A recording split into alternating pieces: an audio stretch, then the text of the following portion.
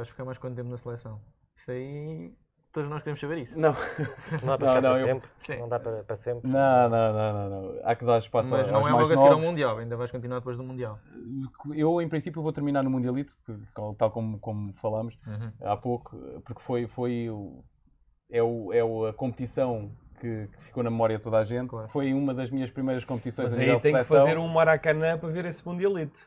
Sim, e é para o próximo ano, do- mas é para, é, mas é para o próximo É ano. É, é para o Não, não Estás a pode ser. garantir Não, não pode. Não, estou pode. garantido, estou garantido. Não pode ser. Tem que ser, tem que ser. Tem, espaço mais. É... É depois- Mas estás a garantir que vais acabar a carreira do próximo ano? Sim, Mundialito? sim, sim.